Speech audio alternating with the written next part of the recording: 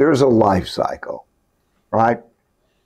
Your teens, your 20s, your 30s, and so on. And every phase is a little bit different or quite a bit different.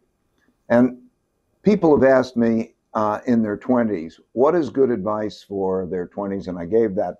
And now I've gotten some questions of what is good advice for people in their 40s. And so I'll just pass along some thoughts. Okay, that's your midlife, you know, that in history.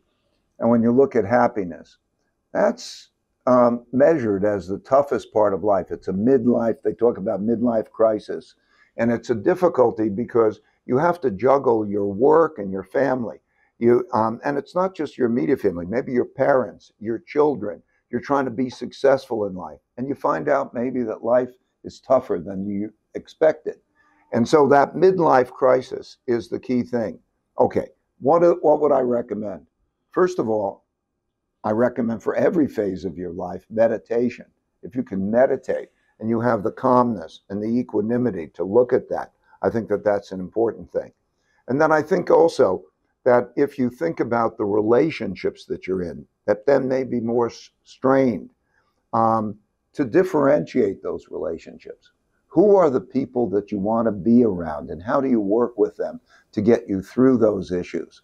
And then on the issue of there's too much to do, you know, too much work, and and think how you get leverage. Think about how you get the more out of an hour than you did before.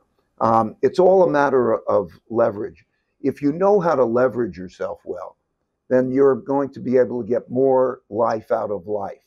So don't think it's just a matter of a choice. I have to give up this or give up that. Think about how you can do the leverage. A lot of these things are dealt with in you know my book Principles for Life and Work, so I can't cover them all.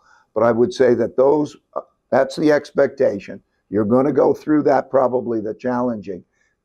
Savor the joys in life, meditate, and I also think about think about how you prioritize and organize yourself so that you go through that in the best possible way.